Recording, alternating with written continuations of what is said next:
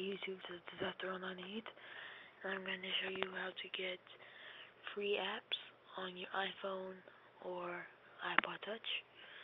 First thing you need to go to, you have to have your jailbroken, so then you go to Cydia and go to manage. So um, once you get to manage, it'll show this, packages, sources, storage. So you'll want to go to sources one second. And then on the top right, click edit and add. Type in cydia.hackulo.us without the um, marks on it. So there it is, cydia.hackulo.us.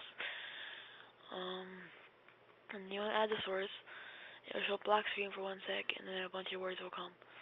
So go to search in Cydia, search up Installous, download that now you get free apps. You want to go after you download it, get Installous, search up some apps, get it.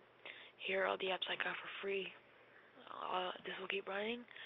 And in Installous, the thing is, um, you'll search in any app that you want, and on top right hand, and then once you get it, it'll show. Once you click it, and then you scroll down, it'll show screenshots. Scroll down to the bottom, there'll be a long description, same thing as in the app scroll down to the bottom, there'll be a bunch of versions. You'll want the newest version. Sometimes there'll be two of the same versions. One will be patched, one will just be regular. You'll probably want the patched one because it got patched because it was a mess up. So click on that and on and this just show the apps work. So um you'll want to click on it and then uh it'll show a list.